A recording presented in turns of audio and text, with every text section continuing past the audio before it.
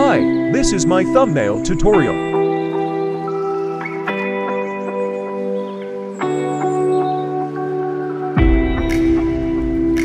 I already set the effects before.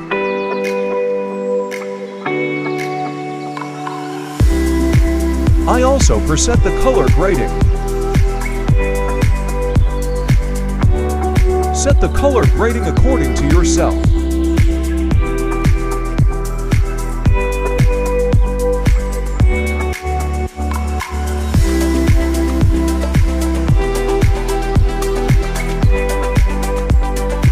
That, save the thumbnail in the gallery.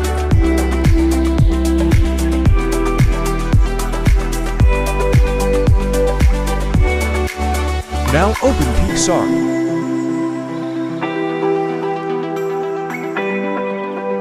Write to the title what you want to write.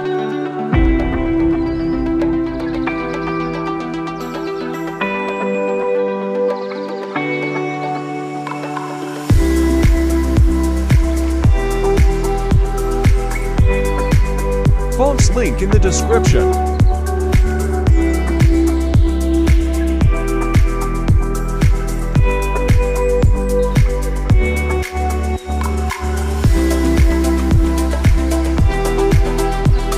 Now choose the color.